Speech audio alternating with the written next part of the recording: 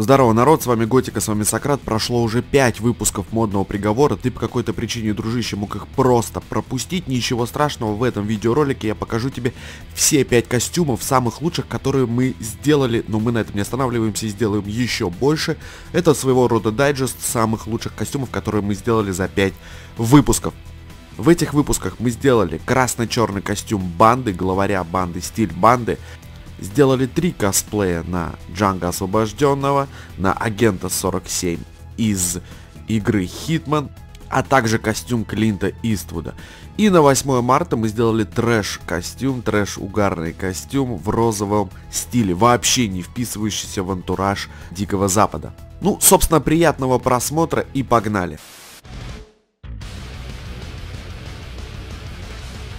Безусловно, хочу упомянуть наших спонсоров. Хантер, Стэнли Магуайр, Малиновая Вафелька, Гай Фокс, Василий Дикий, Микит, Иван Next 64 Рус, Руслан Винчестер, ну и, конечно же, Алексей Котов и Вовка СПБ. Спасибо большое, что поддерживаете наш канал спонсорской подпиской второго и выше уровня. Спасибо.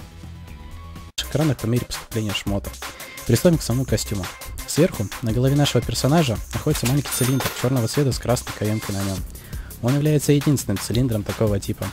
Аксессуарами для глаз я выбрал очки из сезонного абонемента. На шее находится бандана с узором черно-бордового цвета.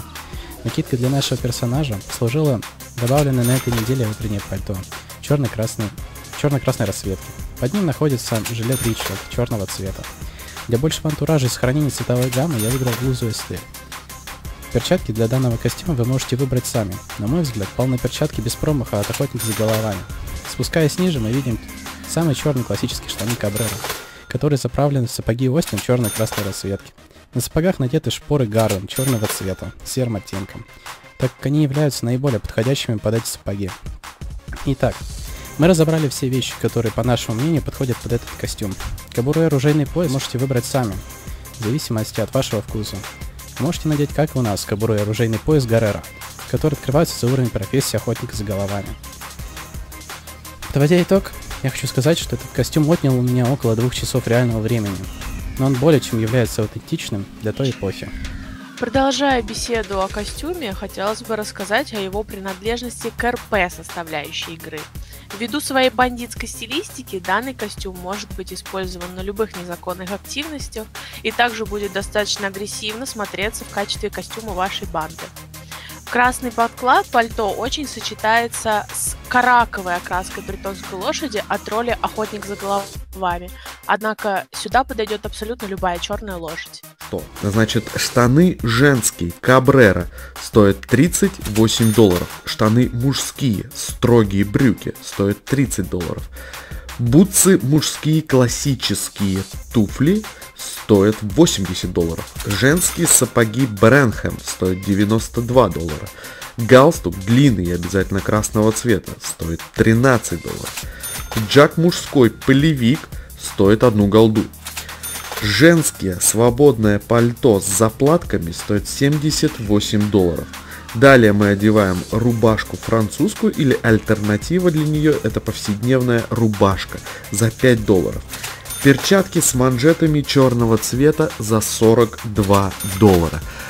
По традиции, пояс и кобуру выбирайте на свое усмотрение, так как агент 47 не ходил э, с нечто подобным, и Дикий Запад нам не позволяет это сделать. Более того, мы не можем воссоздать кольт, с которым он ходил, но мы знаем, что он был серебряного цвета, и мы это сделали для косплея. Тут также по желанию. Мужской обойдется вам в 232 доллара и 12 золотых слитков, и женский в 288 долларов и также 12 золотых слитков. Теперь подробнее о деталях. Жилет из овчины, светло-коричневый со светлым мехом. Основная часть костюма и его стоимость 7 золотых слитков. Шляпа охотника коричневая потертая за 14 долларов. Пончо Карденас коричневая 175 долларов. Верхняя рубашка с воротником голубого цвета для мужского персонажа за 8 долларов и блуза Иньеста тоже голубая стоимостью 64 доллара для женского персонажа. В настройках стиля ставим расстегнутый воротник. Городские штаны с манжетами синие 22 доллара. Поношенные ковбойские сапоги потертого коричневого цвета за 13 долларов. Шпоры вакера коричневые 3 золотых слитка. Гравированный пояс стрелка коричневый 2 золотых слитка. И не могу не упомянуть самый главный атрибут человека без имени – флотский револьвер стоимостью 275 долларов, не считая модификаций. Итак, вот что мы использовали для создания данного образа. Шляпа игрока 35 долларов. Сверху классический сюртук 18 долларов. Жилет с узором 55 долларов. Чтобы получить французскую рубашку, которая использовалась в этом костюме, вам придется купить полный костюм Гризли. Строгие брюки 30 долларов. Классические туфли 80 долларов. Перчатки для верховой езды 10 долларов. Лента 12 долларов. И латунные очки 5 золотых слитков. Покупаются у мадам Назар. Примерно.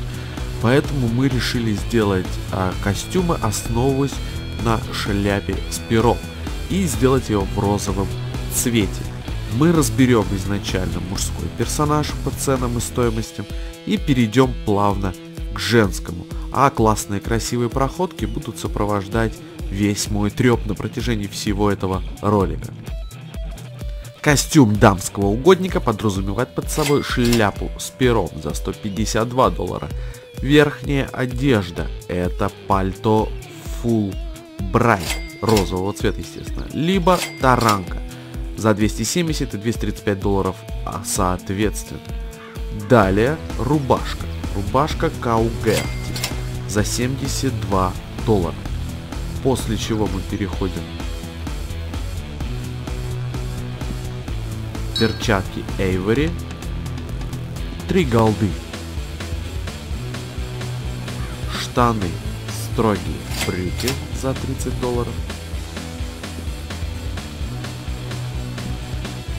сапоги Цитадель за 79,5, шпоры с клепками Стенджер за 52,5, общая стоимость костюма 656 долларов.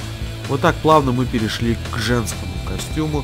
Шляпа Брэдвелл за 149,5 долларов. Корсет из Bell за 192 доллара. Блуза с рюшами за 30 долларов. Юбка Кресвелл за 80 долларов. Сапоги Роланд 104 доллара 50 центов.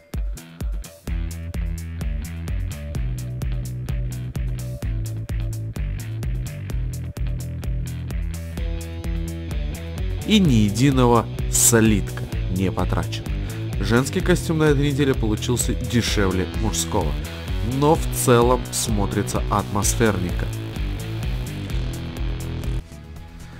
Ребята, на этом у нас все. Вот такая выдалась, вот такие подборки серии вам выдались. Напишите, пожалуйста, в комментариях, как вам, какой больше всего костюм понравился, чтобы мы делали упор на это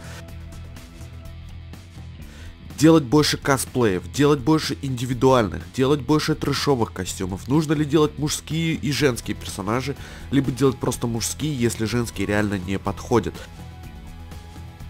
Пишите комментарии, мне они очень важны. Я вообще не знаю, стоит ли продолжать эту рубрику или не стоит ее продолжать. Но ваши комментарии э, очень важны для меня. Также обязательно вступайте в наш дискорд. Все ссылки в описании.